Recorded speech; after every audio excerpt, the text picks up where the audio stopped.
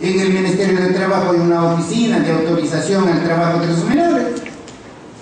La madre va con el hijo allí para que autoricen a su menor a que trabaje y se puede autorizar solamente si es que con este trabajo no se va a afectar su salud eh, física, su salud moral de este niño.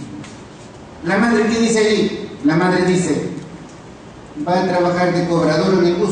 Por supuesto, el funcionario del ministerio le dice, no, no, no, no, allí este, usted no sabe cómo se comportan allí los conductores, eso sería eh, peligroso para este, la salud moral del niño y además este, estaría corriendo un peligro su integridad física, puesto que todavía no, su edad no lo permite realizar ese trabajo. La madre comienza a llorar desesperadamente y entonces le dan la autorización.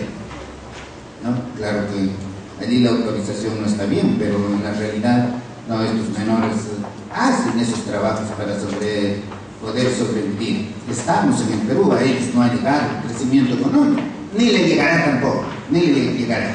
Porque como ellos nunca van a tener educación de calidad, están condenados a vivir en esa situación. O el artículo 1400, no, 1500 1458, creo que es este que dice no, que los eh, incapaces que tienen discernimiento, 1458, los incapaces que tienen discernimiento pueden celebrar los contratos relativos a la satisfacción de sus necesidades ordinarias. ¿No? Como ustedes allí en el código. es lo que dice. O sea, el que tiene discernimiento, el incapaz que tiene discernimiento, puede ser menor, puede ser mayor de edad. Hay mayores de edad que son declarados interdictos, pero que tienen discernimiento. Pueden celebrar esos contratos relativos a la satisfacción de sus necesidades ordinarias. A los menores, ¿no? Eh, pueden celebrar los menores que tienen discernimiento, pueden celebrar los contratos relativos a la satisfacción de sus necesidades ordinarias. Den lectura el artículo 456, por favor. Al 456, pero intervengan. 456. ¿Usted su código? No, pues usted, usted y se cruza los brazos. No, hay que intervenir, hombre. Hay que ser positivos. Artículo 456. Facultar al menor para obligarse o renunciar derechos, sin perjuicio de lo dispuesto en el artículo 1358. 1358. Ahora den lectura al artículo 1358. Den lectura al 1358.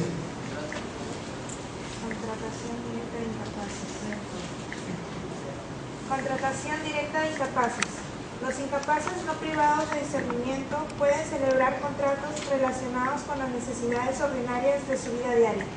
No, eso es para que lo apliquen en la práctica, en la realidad. Para eso es. Imagínense que ustedes tienen un restaurante. Ya se llegó el mediodía. Ya están llegando allí los consumidores. Ya están llegando. Ustedes están parados allí observando que sus trabajadores atiendan bien, que presten bien el servicio. Y ven ingresar allí a un joven, a un niño, será de unos entre 10 o 12 años. Ustedes lo llaman al niño y le dicen, uy, uy, ven aquí, aquí, menores no, los menores no tienen derecho a comer aquí. ¿Le dicen eso? No le dicen. A lo más le dirán, jovencito, por favor aquí este, las cosas cuestan, ¿eh? Y ese niño le saca un bajo de, billete, de si no, le, les trata de usted todavía, si no le te pasa, mire cuánto te ¿Eh? Los niños son despiertos. Imagínense ustedes, menciono este caso porque se refiere a un caso real que pasó muchos años en Lima. Un niño había venido de la Oroya a Lima a trabajar en la parada. Trabajaba en la parada, ingresó a la Universidad de Ingeniería para estudiar informática, la Universidad Nacional de Ingeniería. 15 años. Y luego lo sacan en la televisión, ocupando el primer puesto, el primer puesto. Claro, todo el mundo pensaba, ¿no? De que ha estudiado en el mejor colegio allí de la ciudad de Huancayo. No, había estudiado en un colegito por allí, en, en Tango, por los alrededores, o sea, por los pueblos jóvenes. Y ocupó el primer puesto en la uni, lo sacan en la televisión. Imagínense ustedes ese niño va a, va a estudiar informática. Con sus recursos que ha podido reunir en la parada, ha completado dos mil dólares y se compra una computadora. Miren ustedes, dos mil dólares ya es algo, se compra una computadora. Para poder estudiar, se compra eso. Luego puede surgir un problema en esa compra-venta y demandan la nulidad por falta de capacidad, porque el menor es un incapaz absoluto, tiene no menos de 16 años de edad. ¿Cómo debe resolver el juez? Esa computadora, este, ¿eso servirá para satisfacer las necesidades ordinarias de ese menor? ¿Ah? ¿Servirá eso? ¿Será eso una necesidad ordinaria? ¿Qué les pasa? Claro que es una necesidad ordinaria. Si él está estudiando computación, informática, ¿Puede estudiar bien sin ese instrumento? Tendrían el alma ustedes, ¿no? De decirle que ese contrato es nulo y, que, y privarle de la computadora, y, o sea, privarle de su derecho a tener una educación de calidad. Ese es el derecho, señores. El derecho no es matemática. No, no es pura lógica formal. No, el derecho, además de lógica formal, es lógica de lo razonable. Lo razonable, lo razonable cuenta mucho el derecho. La lógica de lo razonable, de que hablan muchísimos autores. El principal allí, yo creo, Luis Recasensiches. El ejemplo más clarísimo, el autor alemán Radbruch dice, en una estación de trenes había un letrero que decía prohibido pasar con perros. El caso concreto era que una persona quería pasar con un oso y el que controlaba el acceso a los andenes le dice, señor, ¿no lee usted letrero? Y el que conduce el oso le dice, yo sí leo letrero. Tú no sabes leer. Tú no sabes qué cosa dice el letrero. Con la lógica matemática con la lógica formal, con la lógica que dice verdadero o falso, no lo van a convertir pues a un oso en un perro, imposible. Pero con la lógica de lo razonable, sí pues, porque si está prohibido pasar con perros, con mayor razón está prohibido pasar con osos, con vacas, con cebras, con burros. Esa es la lógica de lo razonable. Y eso es derecho. Eso es derecho. Y un autor inglés, Al Ross, analiza el mismo ejemplo de Radbruch y dice, sí, eso que dice Radbruch, es así, es así siempre y cuando que la prohibición no se haya dado porque hay una enfermedad que solamente le da ¿no? a los perros y que los perros lo pueden transmitir a los seres humanos.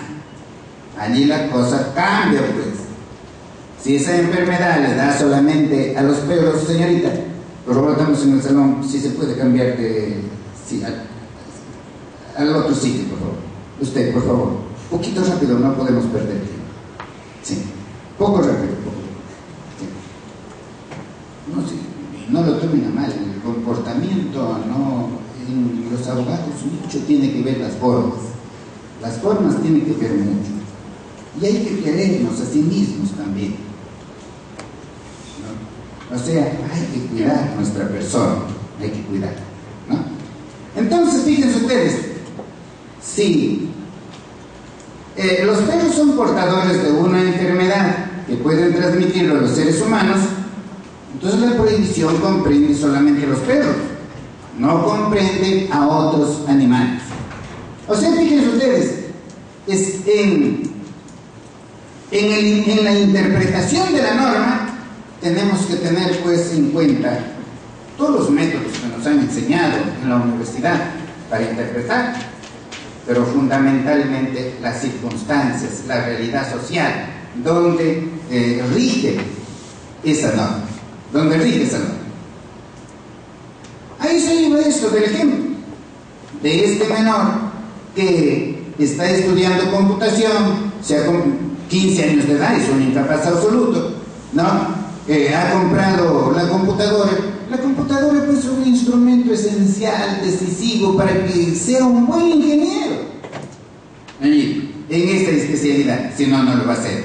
Ustedes no van a tener pues esa mentalidad sería terriblemente negativa, no de privarle a esta persona de que se forme profesionalmente bien.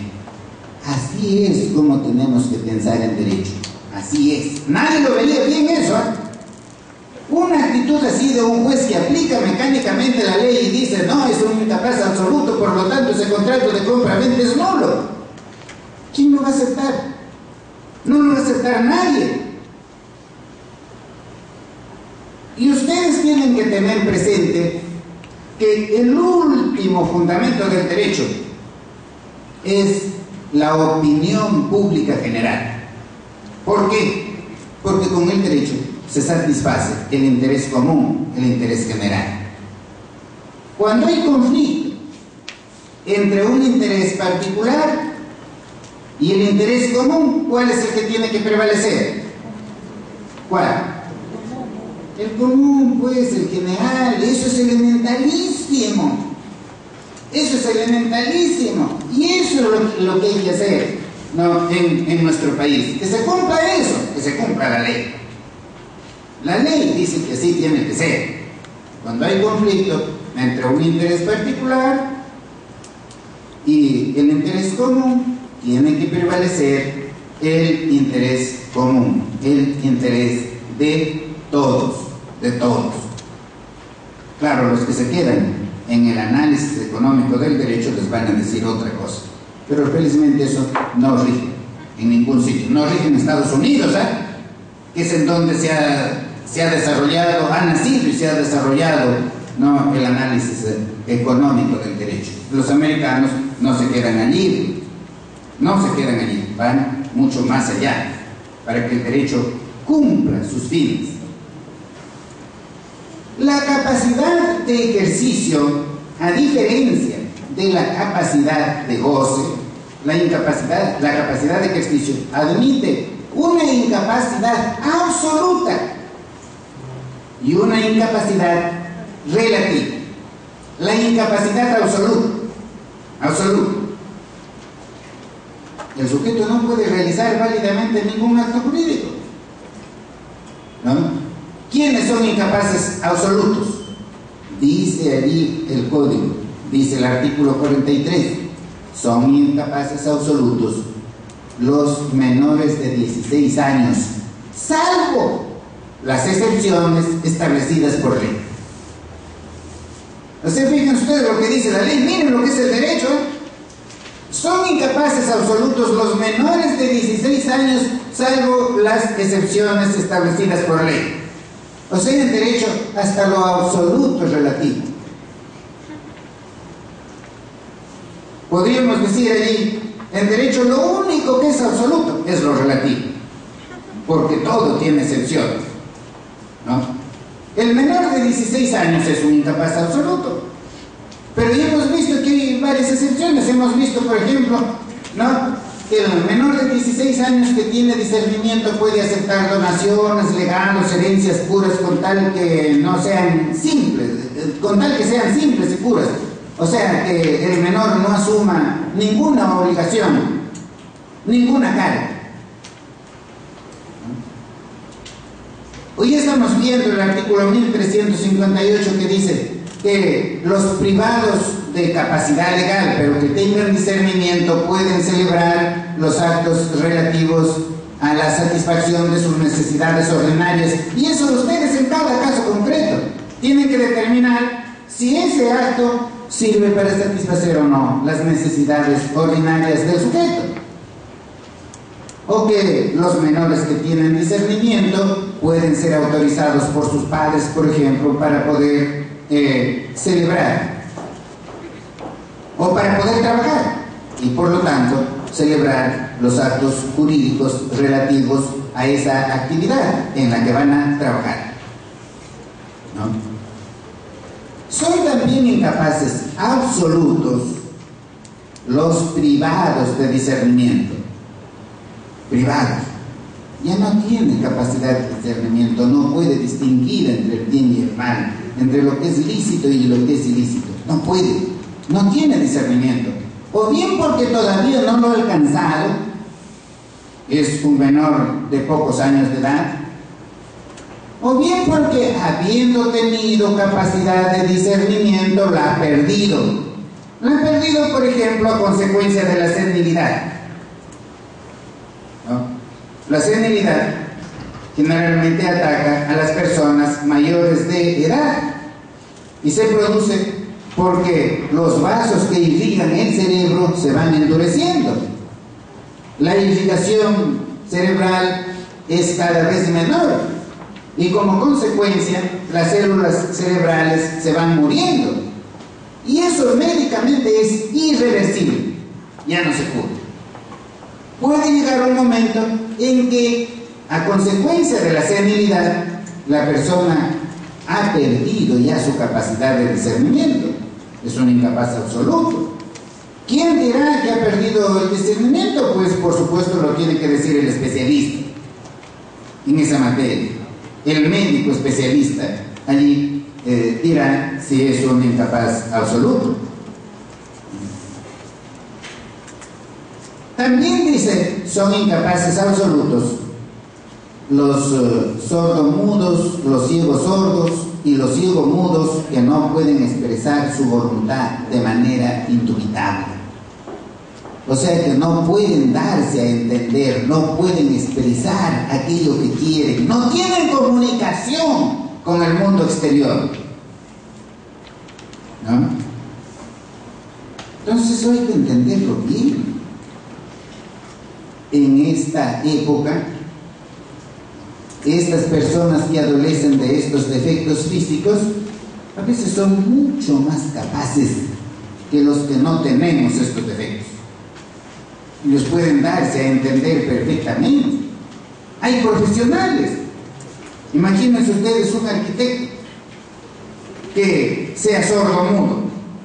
Caramba, es un arquitecto brillante, tiene una capacidad de concentración extraordinaria. A él no lo perturba nada en cuanto a su capacidad. A nosotros hasta cuando pasa una mosca ya nos molestó, ya este, el sonido mismo ya nos perturbó. Él no. En Lima, no sé si aquí, en Lima hay personas que son sordomudos que conducen vehículos, conducen vehículos, tienen brevet. Ustedes saben que por ley no se le puede dar brevet, no se puede, pero tienen. ¿Cómo lo hacen? Ya sabemos pues, cómo lo hacen. Somos un país corrupto hasta, hasta nomás. Pero estas personas, ¿ustedes creen que causan accidentes? No causan accidentes tienen una capacidad de concentración extraordinaria para conducir no solamente automóviles, sino maquinaria pesada. Fíjense ustedes. Sordomudos. Hay profesionales, colegas abogados que son ciegos y son muy buenos para la defensa, por ejemplo. Pero es un absurdo, en mi opinión, de que ellos estén desempeñando como jueces o como fiscales, pues es un absurdo, por la naturaleza misma ¿no? de esa actividad. No puede, no puede desempeñar esa actividad, pero aquí pues ustedes saben ¿no? quién evalúa a un profesional del derecho para que se desempeñe en la fiscalía, para que se desempeñe en el Poder Judicial. ¿Quién lo evalúa? Un médico, un enfermero, un ingeniero, un contador. Los profesionales del derecho allí están en minoría. Por lo tanto, allí las cuestiones no marchan rectamente, sino van por otro camino, van por otro camino. Somos pues el país que somos. ¿no? Y eso en nuestro país no va a cambiar, al menos no va a cambiar de la noche a la mañana. Cambiará con ustedes si es que se forman profesionalmente bien. Si no, no. Si no, la cuestión va a seguir, va a seguir. Ustedes vieron por las noticias en Lima el tremendo problema que se causó en una municipalidad cuando dos sordomudos querían no contraer matrimonio y el asesor del municipio no le deja pues que contraiga el matrimonio porque son sordomudos. No obstante que los sordomudos no se daban a entender perfectamente sobre cuál es su voluntad. Miren ustedes, este que estaba allí desempeñando la función, ¿dónde estudió derecho? ¿Dónde estudió derecho? ¿No? Esa persona pues habría que averiguar dónde estudió derecho. ¿No? Y luego examinar a esa universidad. Y si está sacando, si eso no es una excepción, si no es la regla, hay que cerrar esa institución. ¿No? Hay que moralizar al país. ¿Cómo va a ser posible que se creen un montón de universidades y formen mal? Que haya el mayor número de universidades que sea posible, pero que la formación sea una formación de calidad. ¿Y la formación en qué va a consistir? En que tienen que conocer ustedes esto que estamos hablando. Que la norma dice allí que es un incapaz absoluto el sordo mudo, el sordo, el mudo, que no puede expresar su voluntad de manera indubitable. O sea, que no se da a entender sobre aquello que quiere, sobre aquello que desea.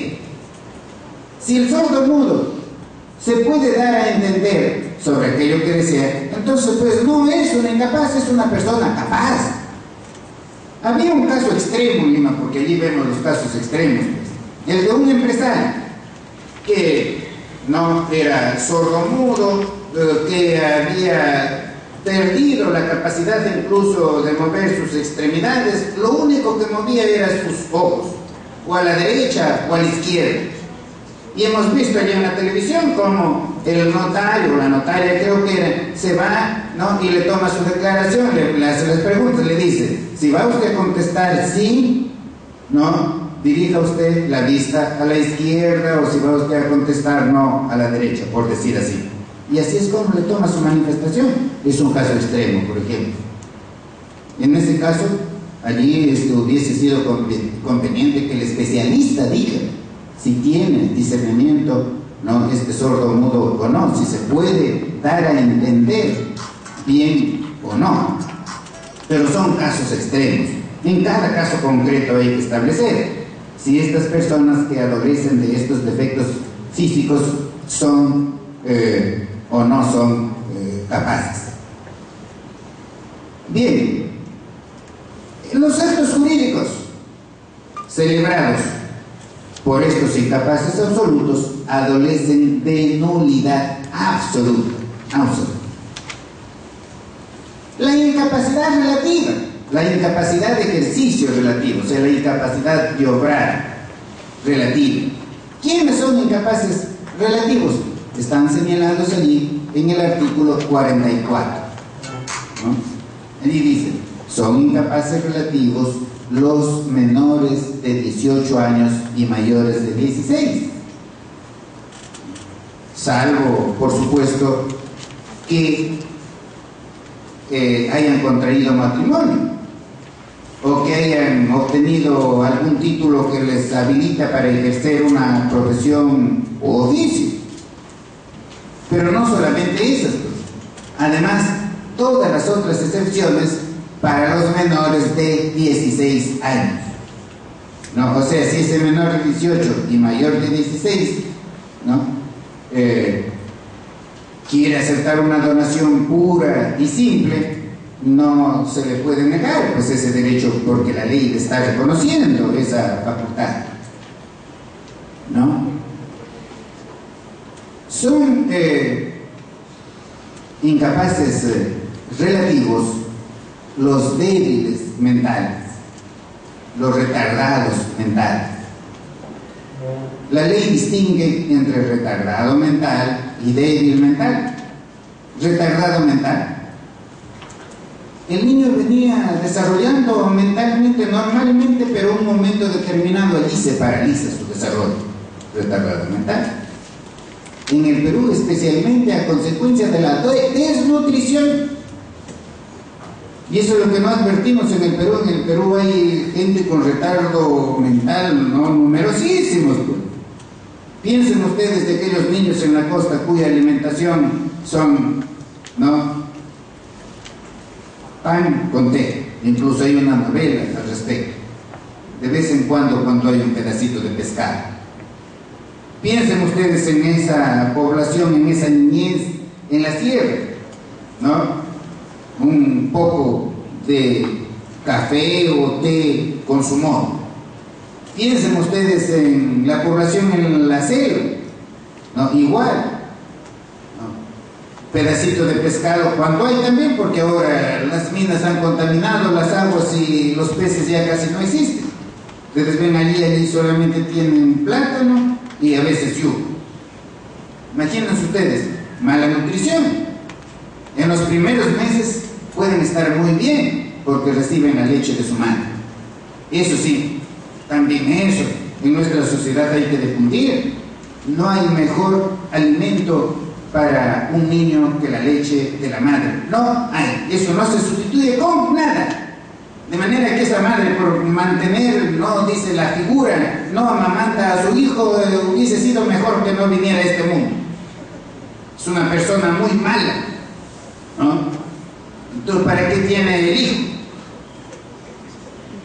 Luego más adelante puede ser, claro, va desarrollando mentalmente muy bien, pero ya viene por la desnutrición y se paraliza su desarrollo mental. Y luego al niño lo enviamos a la escuela y queremos que aprenda bien y si no aprende, encima lo castigamos. No, no nos damos cuenta que ese niño adolece de retardo mental. El retardado mental es un incapaz relativo. Puede ser declarado interdicto o puede no ser declarado interdicto. Los actos que celebre son anulables. Es mejor declararlo interdicto para protegerlo frente a los actos que puede celebrar. Si es declarado interdicto, entonces el acto se va a anular con toda facilidad, la prueba va a ser facilísima, solamente se presenta la resolución que acredite la interdicción. Pero si no ha sido declarado interdicto, tenemos que probar que en el momento en que celebró ese acto jurídico ya adolecía de retardo mental. El débil mental, la persona tiene normalmente su capacidad mental, pero a consecuencia de una enfermedad, por ejemplo, a consecuencia de la senilidad, porque la senilidad es un proceso. La persona va perdiendo continuamente su capacidad mental, no es que la pierden así automáticamente, no. Recuerden ustedes el ejemplo de Sófocles. Los hijos de Sófocles, este gran filósofo griego, los hijos de Sófocles, para entrar en eh, los bienes, administrar y disponer los bienes de su padre, solicitaron que se le declare interdicto judicialmente. Fíjense, desde aquella época ya. ¿no? ¿Cómo se defendió Sófocles ante los tribunales? Se defendió diciendo que él no adolece, no de serenidad. ¿Y cómo demostró eso ante los tribunales? Enseñándoles, mostrándoles su obra, Edipo en Colonna, escrito a los 18 años de edad. Ese problema de Sófocles, eso se presenta cada rato en nuestra sociedad. ¿no? Allí la connivencia entre el juez y los médicos para declarar interdicto a la persona con la finalidad de que malos hijos entren ¿no? en la posesión, administración de los bienes de su padre. Allí hay que tener mucho cuidado. Entonces, fíjense ustedes, de implementar los accidentes de tránsito producen debilidad mental a cada rato. El accidente de tránsito allí se produce un traumatismo encefalocraniano, se hunde esto, la parte frontal y la persona pierde su conocimiento. Y después lo va recuperando. Pero recuperarlo totalmente, nunca más. Nunca más. Por ejemplo, era un excelente profesor de matemática en la universidad. Dictar, no, la cátedra, nunca más. Ya no lo va a poder hacer bien. Se conduce bien en la colectividad. Se conduce bien.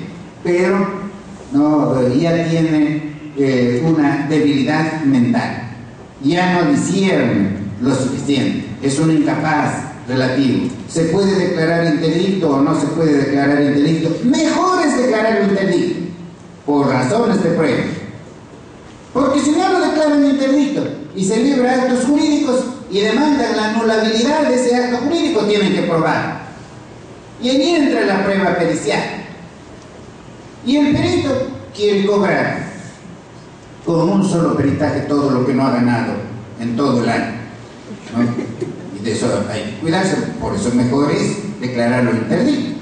Si lo han declarado interdicto y el interdicto ha celebrado un acto jurídico, entonces eh, basta pues con presentar la resolución por la cual se le ha declarado interdicto. Interdicto quiere decir declararlo incapaz, declararlo incapaz. Son también incapaces relativos los eh, pródigos, pródigos, o sea, el que malgasta su patrimonio. ¿Qué dice? El botarate este malgasta su patrimonio.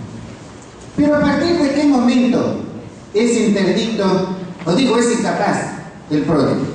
A partir del momento en que se le declara interdicto por prodigalidad.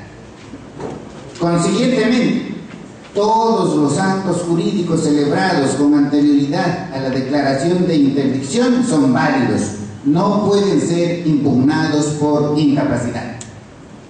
Todos los actos que ha celebrado con posterioridad a la declaración de interdicción, no, eso sí pueden ser impugnados por falta de capacidad, el pródigo.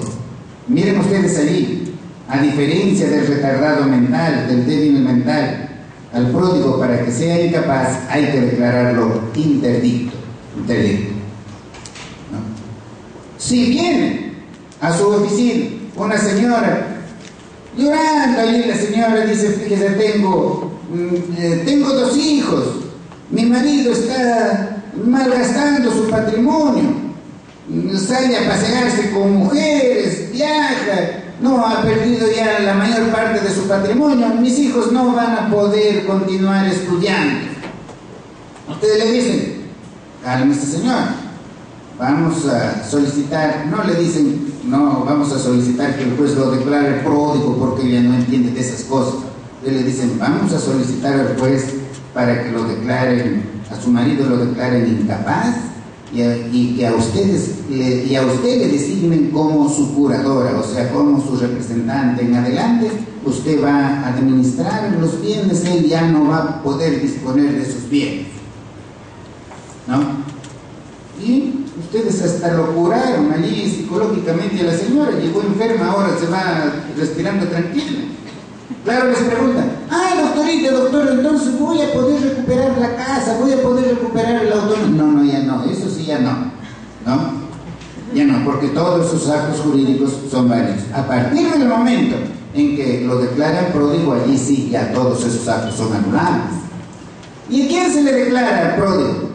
Al que malgasta su patrimonio teniendo lo que se llama herederos forzosos o sea, teniendo hijos u otros descendientes, o teniendo padres u otros ascendientes, o teniendo cónyuge, ¿no? Y ha malgastado ya más del tercio de libre disposición que tiene allí para otorgar testamento. O sea, se ha ganado, se ha, se ha malgastado más del tercio de su patrimonio, ya se puede declarar no interdicto. Claro, eso se puede establecer, no el más del texto, se puede establecer rapidísimamente con una prueba pericial. Si tiene padres, si ha gastado, u otros ascendientes, se ha malgastado ya más de la mitad de su patrimonio. Claro, si no tiene eh, cónyuge, hijos u otros descendientes, padres u otros descendientes, allí ya la ley no lo protege. O sea, fíjense ustedes, con la prodigalidad se está protegiendo a la familia, a la familia, a la familia, entendiendo allí en un sentido restringido, la familia más cercana. También es un incapaz relativo el mal gestor. Mal gestor no es el que malgasta, el que despilfarra su patrimonio, no. Mal gestor es el que gestiona mal su patrimonio, el que administra mal su patrimonio, o sea, le va mal en, en sus negocios. Pierde, pierde y pierde y ha perdido ya más del 50%. Entonces se le puede declarar interdicto por mala gestión. Igualito allí, antes de que sea declarado interdicto, los actos realizados antes de que sea declarado interdicto son válidos. Los realizados con posterioridad, ¿no? Eso sí, son impugnables por falta de capacidad. En esos dos casos, en el pródigo y en el mal gestor, para que estos sean incapaces, es necesario declararles interdictos por una de estas dos causales. También son incapaces eh, relativos los toxicómanos, los que consumen drogas. Toxicómano es aquel que no puede vivir sin consumir la droga. Se dice, ha desarrollado una fármaco-dependencia severa. Cada día necesita consumir más y más droga para satisfacer la necesidad que se ha creado. Y esta persona para adquirir la droga comete los delitos eh, más atroces, más atroces. Allí al toxicómano se le puede declarar interdicto o no también, sigue siendo no un incapaz eh, relativo, pero mejor, por razones de prueba, hay que declararlo interdicto por esa causal. Igualmente son incapaces relativos los ebrios habituales. Miren lo que dice la norma. Los ebrios habituales, no el que consume, no esporádicamente licor, no. A toditos nos declararían no interdictos aquí. No. Porque nosotros no somos habituales. Y él no puede vivir sin consumir y esa persona es un peligro para su familia y también es un peligro para la sociedad. Es un incapaz relativo. ¿No? Y lo ves, haya sido o no haya sido declarado interdicto, pero mejor, por razones de prueba, hay que declararlo interdicto. Y no solamente por razones de prueba, sino pues para proteger el patrimonio de esta persona y de su familia. Igualmente allí dice el inciso octavo de ese artículo 44 que son incapaces absolutos o digo relativos los que sufren pena de interdicción civil. Fíjense ustedes ahí, de acuerdo al Código Penal de 1924, había pues la pena de interdicción civil a todo aquel que se le aplicaba una pena privativa de la libertad había que también aplicarle la accesoria de la interdicción civil y el fiscal tenía que solicitar que se le nombre un curador para que administre sus bienes. Claro, pues si el otro iba a estar encerrado en la cárcel, ¿no? Ahora no hay, no hay eso. Ahora lo que hay es la pena de inhabilitación que se puede poner, allí se puede imponer como una pena principal o como una pena accesoria será la sentencia condenatoria la que diga qué actos jurídicos, qué actos no puede realizar el procesado. ¿No? O sea, allí estamos frente también a una incapacidad relativa. En realidad, lo que dice ese artículo octavo, de acuerdo a una interpretación sistemática del código, es que son incapaces relativos los que sufren la pena de inhabilitación. Allí, eh, con esa norma, eh, en su oportunidad quedó derogado el Código Penal, pero después ya, por la nación del nuevo Código. Ustedes saben que la derogación de la ley puede ser expresa o puede ser tácita. Dentro de la derogación tácita está pues esto de que la nueva ley regule el mismo hecho de la ley anterior. Entonces, la ley anterior queda derogada. Esos son los incapaces relativos. Todos los actos jurídicos realizados por estos incapaces relativos son anulados. Anulados. Bien, si tienen alguna pregunta sobre la capacidad, háganla de una vez.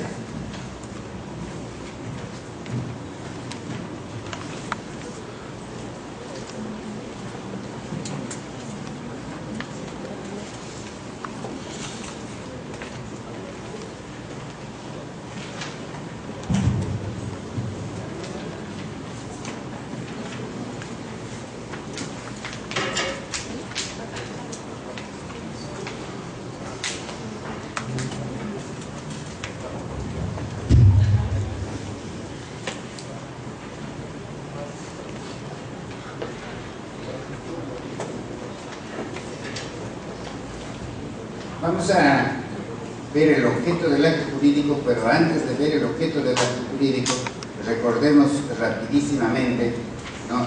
qué cosa es la relación jurídica.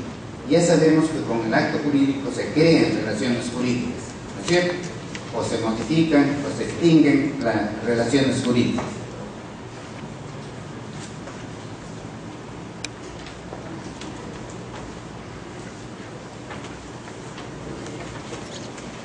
La relación jurídica es el vínculo entre un sujeto del deber y un sujeto del derecho.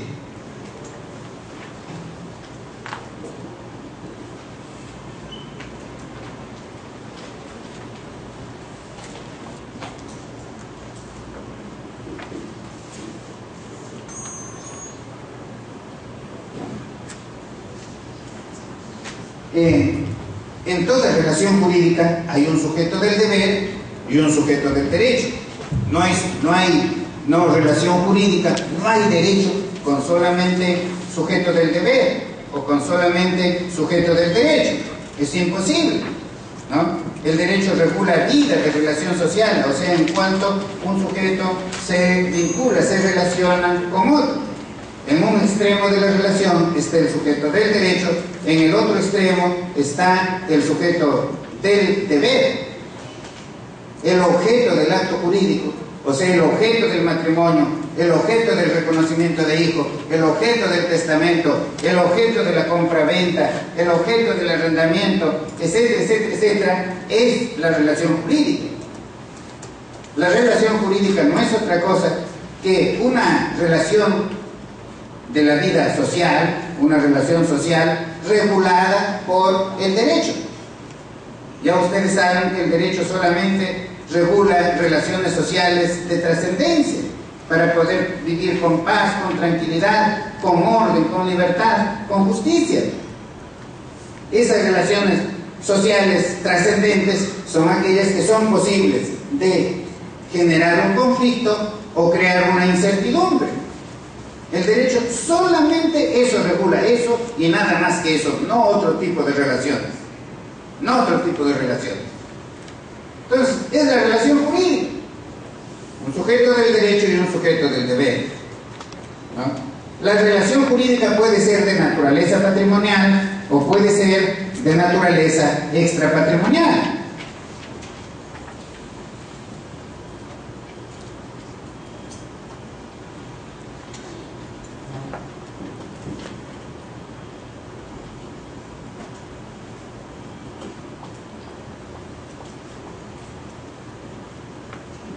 La extra patrimonial no tiene un equivalente en dinero, no tiene un valor pecuniario, no lo tiene. ¿no? Eh, imagínense ustedes el matrimonio, sin considerar, por supuesto, el patrimonio dentro del matrimonio. Allí, en el matrimonio, se dice, no que la obligación de los cónyuges es hacer vida en común hacer vida en común. Fíjense ustedes, Juan y María contraen matrimonio. Pasaron la primera noche de luna de miel, ya están haciendo vida en común. En la mañana van a tomar su desayuno, bien bañaditos allí los dos. Y María le dice a Juan, oye Juan, no seas hombre tan sinvergüenza.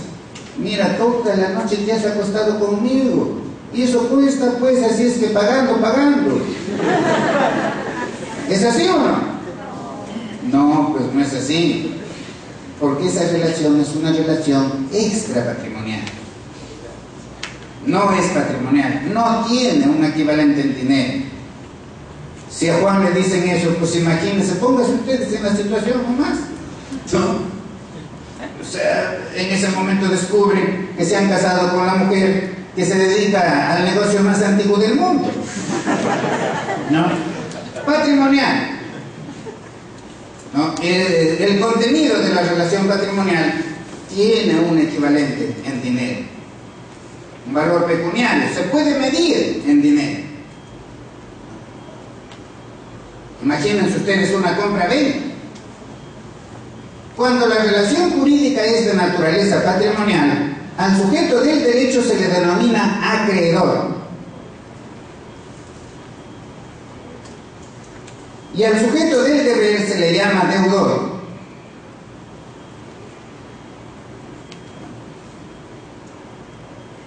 A estas, eh, la relación, dentro de las relaciones patrimoniales tenemos a la obligación o relación obligacional.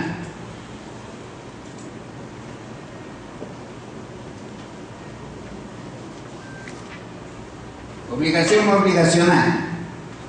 También, por supuesto, tenemos las relaciones reales.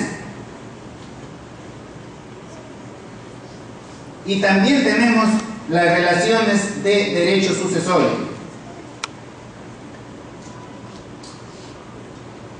¿No? Son todas de naturaleza patrimonial. Claro, destaca la obligación o relación no, obligacional, el vínculo entre un acreedor y un deudor. ¿Qué cosa es entonces la obligación? Miren, facilísimo. No es otra cosa que un vínculo entre un acreedor y un deudor. Ustedes pueden decir, es la relación jurídica de naturaleza patrimonial que vincula a un acreedor con un deudor. No hay obligación con solamente deudor o con solamente acreedor. No hay relación jurídica con un solo sujeto. Siempre tiene que haber un sujeto del derecho, aquí el acreedor, y un sujeto del eh, deber, aquí el deudor. Por eso es que se dice que el derecho es bilateral. Frente a un derecho necesariamente hay un deber correlativo. Y frente a un deber necesariamente hay un derecho correlativo. Eso es así. Si en este mundo existiera un solo ser humano, no necesitaría del derecho. Un Robinson Crusoe que diría, pues, eh, por ejemplo, yo soy el propietario de este mundo y frente a quién lo ejercería ese derecho de propiedad. Frente a nadie allí no se puede hablar de derecho. Hablamos de derecho de propiedad porque lo podemos ejercer frente a otro. Y en el mismo sentido, hablamos de cualquier otro derecho. El derecho se hace valer frente a otro, frente al sujeto del deber. Tengo derecho a la vida porque todos los demás tienen el deber de respetar mi vida. Muy bien. Entonces, esa es la relación jurídica. La relación jurídica tiene un objeto. El objeto de la relación jurídica es la prestación. La prestación. Que ustedes a cada rato utilizan la palabra prestación. Leen el código, a cada rato encuentran allí la palabra prestación. Van a encontrar no que el deudor debe ejecutar su prestación. ¿Qué cosa es la prestación? Es aquello que tiene que hacer o no hacer el sujeto del deber para satisfacer el interés del sujeto del derecho.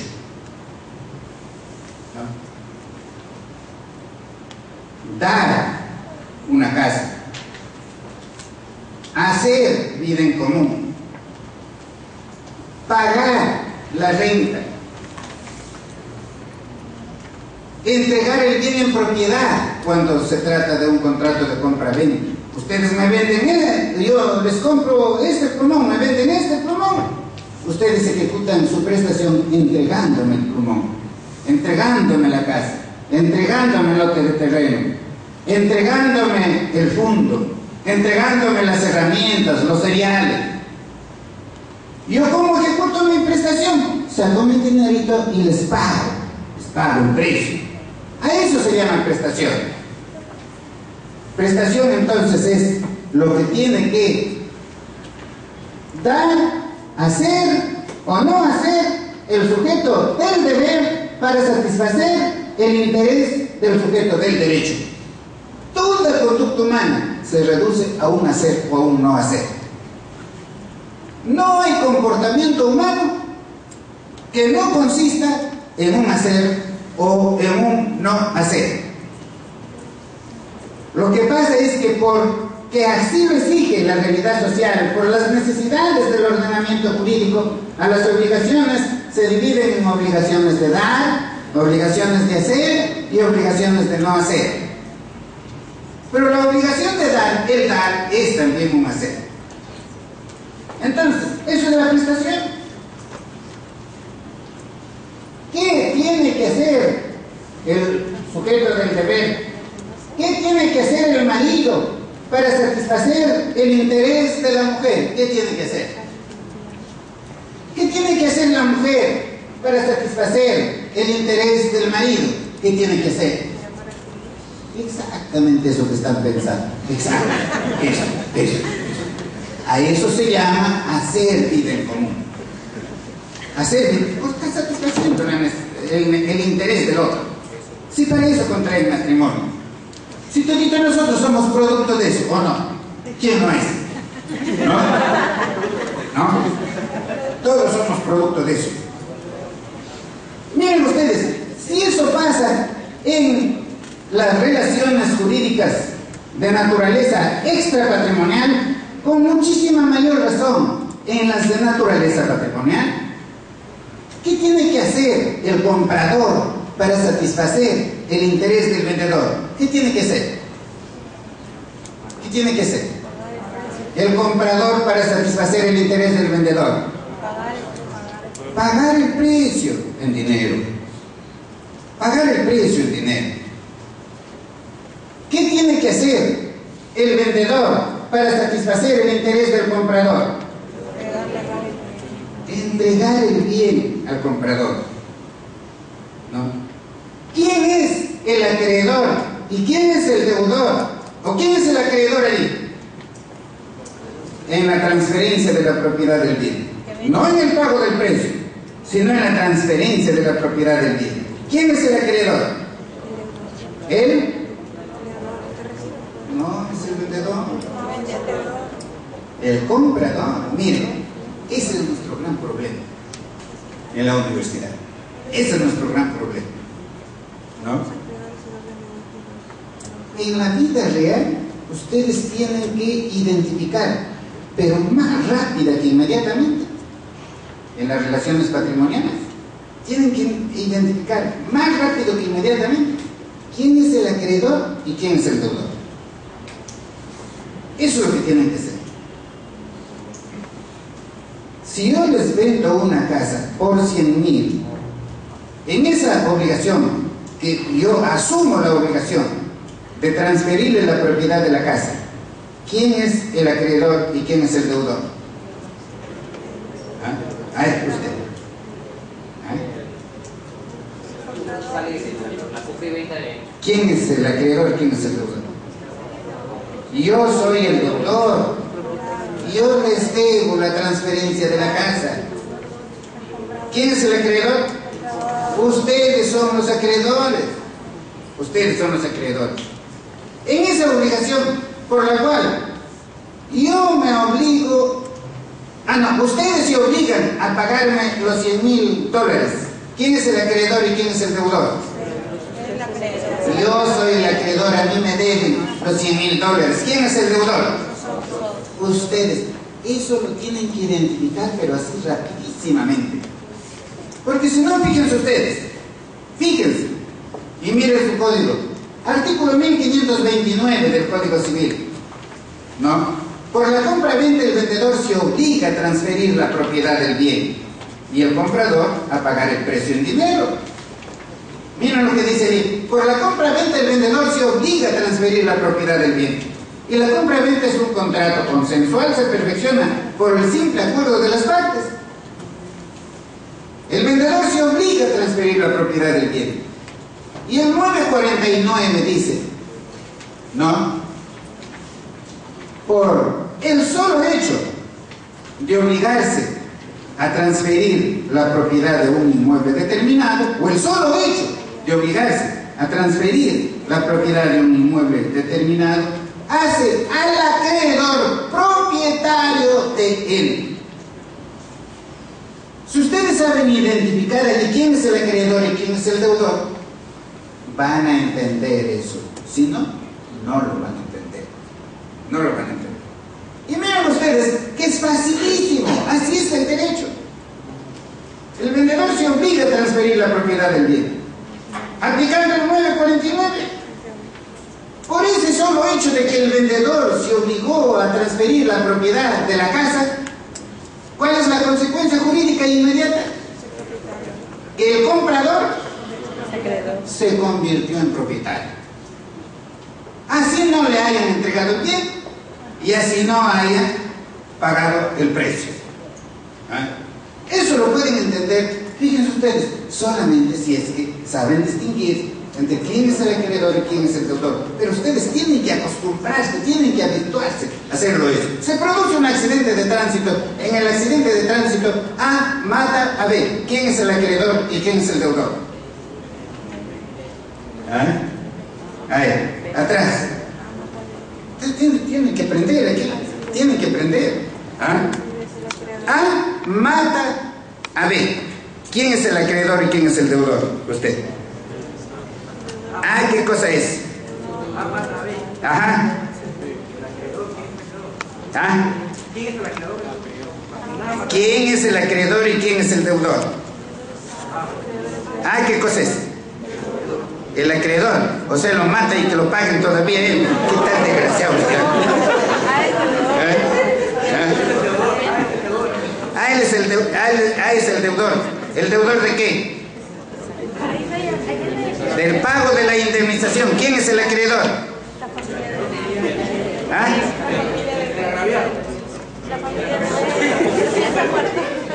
O sea, que se vaya al, al, al, panteón y que le meta allí su dinero.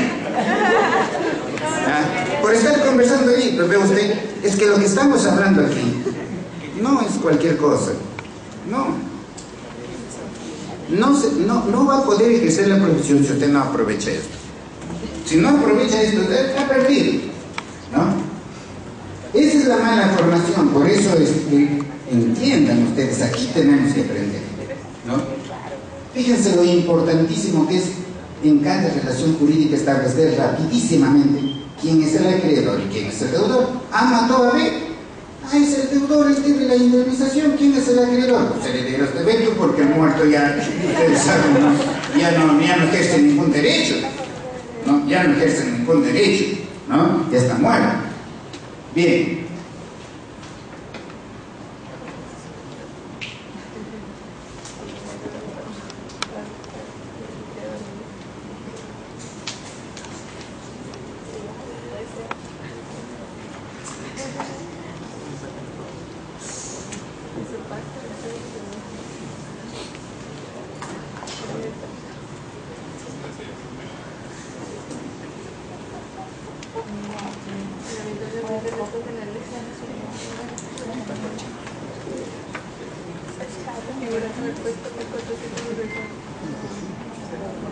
A su vez, la prestación tiene un objeto. El objeto de la prestación son los bienes, los derechos, los servicios, las abstenciones. Los, los bienes, los muebles, los automóviles, el azúcar, el arroz, los metales, los peces, los pescados, peces no, no. Las casas, los terrenos,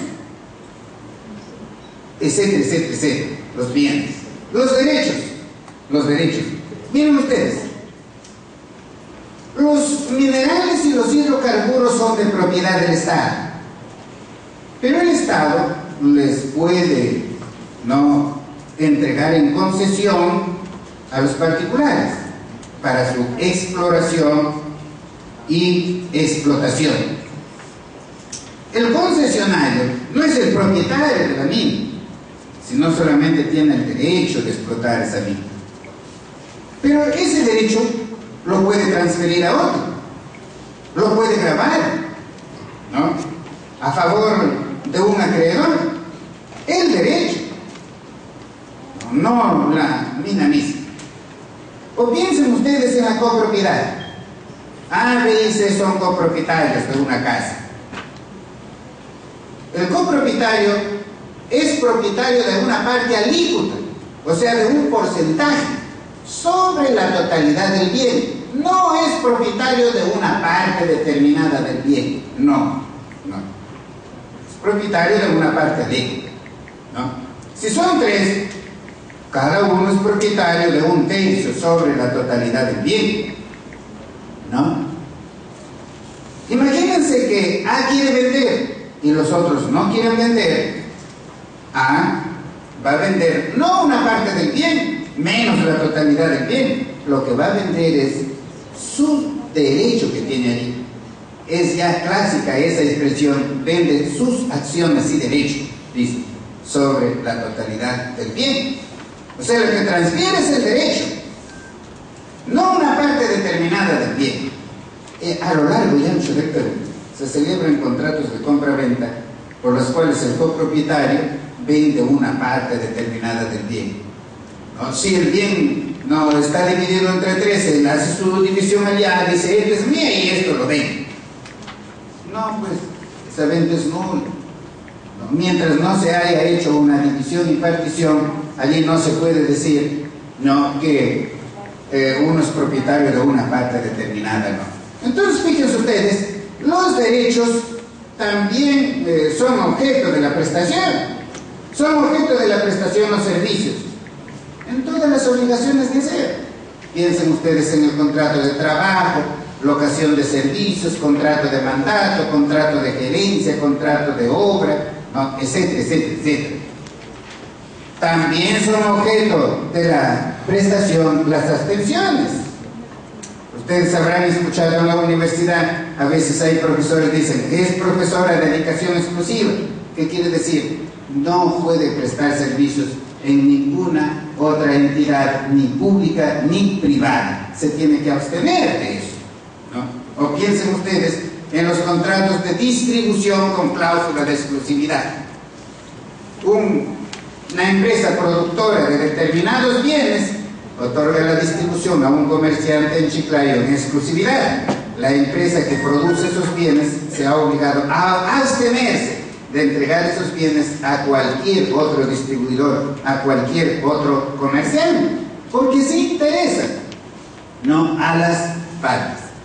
Entonces, el objeto del acto jurídico está dado por esos tres elementos, la relación jurídica, la prestación, los bienes, los derechos, los servicios y las abstenciones. La mención a uno de estos elementos implica la de los otros. Si yo digo, ¿no? Que mi vendedor está en la obligación de entregarme la casa, es pues porque hay una obligación establecida así en un contrato de compra-venta. La prestación del vendedor consiste en que me debe ¿no? Eh, entregar la casa. Entonces, ese es el objeto del acto jurídico. El objeto del acto jurídico debe reunir ciertos requisitos.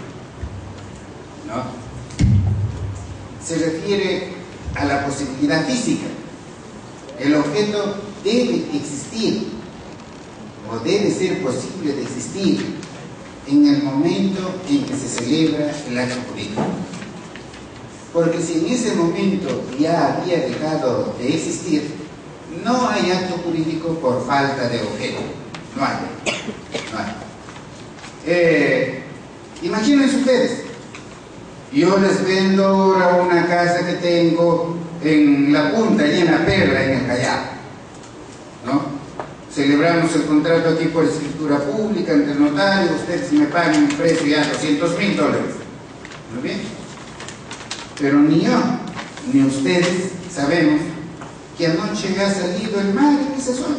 Se ha llevado la casa. No hay casa. Lo único que hay son unas tablas que están flotando allí sobre las aguas. ¿Hay compraventa o no hay compraventa? ¿Ah? ¿Hay compraventa o no? No hay, pues. ¿Quién he vendido yo? Si yo he perdido ya la propiedad de la casa anoche cuando el mar lo ha llevado, ya no tenía la casa. Es imposible vender las casas. ¿Cómo les voy a vender algo que ya no tengo? Allí falta el objeto. Puede ser que les estoy vendiendo unas cabezas de ganado que está en Oxapampa, por ejemplo, pero no sabemos que el día de ayer a consecuencia de una peste los animales han muerto. Les estoy vendiendo una mercadería que está viniendo de la China, está navegando en alta mar, pero no sabemos que el barco ya se hundió, etcétera, etcétera, etcétera. El objeto tiene que existir, o tiene que ser posible de existir. Tiene que ser posible de existir. Ahora con el boom de la construcción, ven ustedes en un lugar determinado, están vendiendo allí unos departamentos, pero departamentos no hay. Lo que es un dibujito que han puesto allí, bien bonito. Recién el constructor o el propietario está gestionando la licencia para poder construir. Pero eso sí es posible. Y eso se celebra ahora cada rato. La compra-venta de una cosecha futura es eh, otro ejemplo patético de esto, real de esto. ¿no? Entonces, bien, debe existir o debe ser posible de existir. También la prestación de vida tiene que estar dentro de las posibilidades ¿no? del ser humano, físicas e intelectuales. No sería pues válido un contrato por el cual un arquitecto o un ingeniero se obliga a construir un edificio de 10 pisos en 3 días. No es posible, no es posible. ¿no? Eso es imposible. ¿O no sería este, válido un contrato de transporte por el cual no viene aquí una empresa americana, se instala en Chiclayo y comienza a vender pasajes para que a todos el próximo mes de julio a los que compran ese pasaje le traslade en un viaje de paseo a la luna. No es posible. Razonablemente no es en derecho. Hay que actuar razonablemente. Claro, alguien podrá decir, pues imaginariamente que eso es posible. Será posible de aquí a un tiempo mucho más lejano, el próximo mes de julio, el mes de julio, no. Claro, ustedes taparían a la mayoría, pero no. No, no, no, eso no es posible. No es posible. En la realidad actual, eso no es posible. Tiene que estar entonces dentro, incluso tiene que estar dentro de las posibilidades de la naturaleza. No podrían pues, celebrar un contrato sometido a una condición, por ejemplo, suspensiva, eh, si es que el sol sale por el este. No, eso físicamente es imposible. El objeto tiene que ser eh, posible. O el ejemplo que da Barbero en sus clases en la Universidad eh, Italiana, donde dice, no podría celebrar un contrato sometido a condición suspensiva, diciendo, No te transfiero la propiedad de la casa a condición de que mi burro comience a cantar.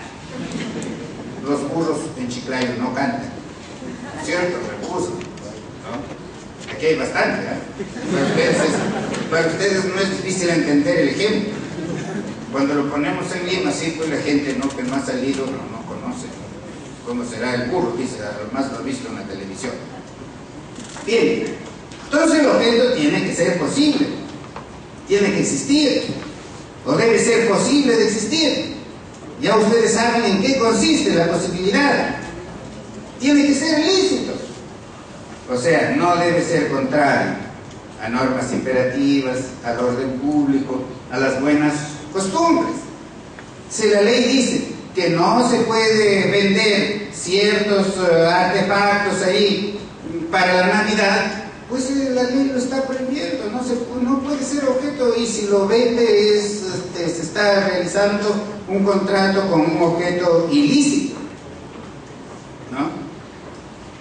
Eh, el objeto del acto jurídico debe ser determinado. ¿Determinado qué quiere decir? Delimitado. Que esté perfectamente individualizado, de tal forma que no se pueda confundir con otro objeto. Se dice se vende el lote de terreno que está ubicado en la urbanización tal, con frente a la avenida tal con tantos metros lineales de extensión. Entrando por la derecha, limita con la propiedad de fulano, con tantos metros lineales de extensión. Entrando por la izquierda, limita con la propiedad de Mengano, con tantos metros lineales de extensión.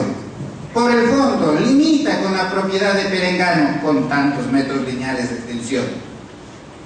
Ese bien está perfectamente individualizado. No se puede confundir con otro lote de terreno de la misma urbanización o de cualquier otra urbanización.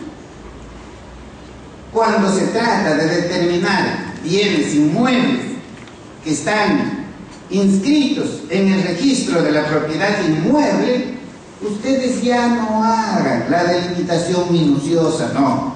Simplemente digan que venden la casa, el terreno, el edificio, el lote de terreno, el punto, ubicado en tal sitio, tal distrito, no provincia, departamento, y dicen, cuyos linderos y me- medidas perimétricas y demás características constan de la partida tal del registro de la propiedad inmueble. Ya está todo allí. Porque si ustedes comienzan a hacer la delimitación minuciosa y se equivocan, uy, viene la observación para la inscripción. Y ustedes tienen que ir nuevamente al notario para hacer la aclaración. Y ustedes saben, el notario no trabaja gratis. Y lo que es más, pierde tiempo. Pierden tiempo. Entonces, por eso les hemos dicho, el derecho es una ciencia eminentemente práctica. Fíjense ustedes en eso. Cuando el bien está registrado, se remite a la partida. Allí está todas las características. Se vende el televisor de tantas pulgadas, de tal color, de tal serie. Está individualizado ese artefacto. O debe ser también el objeto determinante, o sea, no está individualizado en el momento en que se celebra el acto jurídico, pero se están señalando los parámetros, los lineamientos, no las reglas en base a las cuales se va a hacer esa delimitación. Hay la costumbre, por ejemplo, para la compra de ciertos bienes, acordar que la elección del bien lo hará un tercero, lo hará un tercero. Allí el bien no está determinado, sino es determinado. Pero el objeto tiene que ser posible, lícito, determinado o determinado. Si es absolutamente indeterminado, ese acto jurídico es nulo por falta de objeto. Eso en cuanto a los eh, requisitos del objeto. Entonces ustedes eso tienen que saber y eso es lo que quiere decir el Código Civil cuando en el artículo 140 dice que el objeto debe ser física y jurídicamente posible. Sin esa explicación, nadie sabe qué cosa quiere decir eso. ¿no? Eso es lo que quiere decir. Está más desarrollado en la parte de contratos. Bien, tenemos clase hasta, creo, las, las 2 de la tarde, ¿no? Haremos un intermedio. ¿Eh? Un intermedio de unos uh, 10 minutos, así es que salgan